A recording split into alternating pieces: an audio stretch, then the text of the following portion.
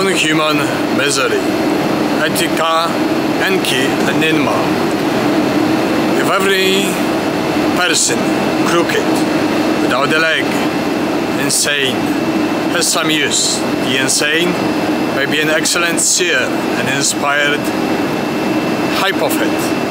A crooked person may be an excellent poet, a writer, a writer, and so on and so on. I once ended up in the streets, seven days without food. I know what is the misery and I know what it means to be without a roof over one's head, without food, without cigarettes, without all the comforts of the day. And it's not that this is only the decisions that we make in life, but the circumstances. The circumstances that put us in a terrible state.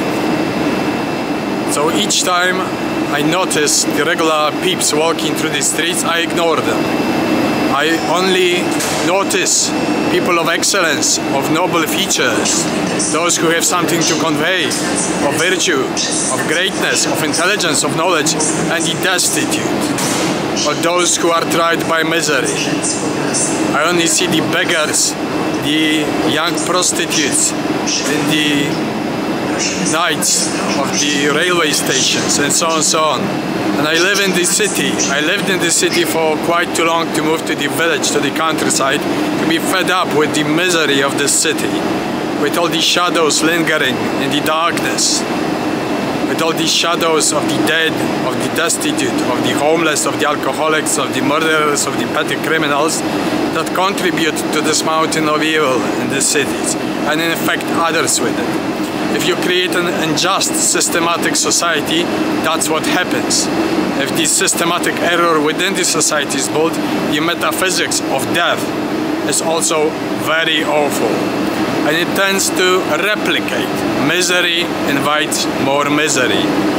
And you can be on the top, but one time your leg slips and you fall straight to the bottom and you're in the shitter, in the gutter. So this is very important to especially in magic of business, to preserve yourself, the foundations, the balance, the moderation, the destruction of passions, of excesses, in order to conduct yourself well. Because on the magical path, if you have no financial foundations, you might lose all of it.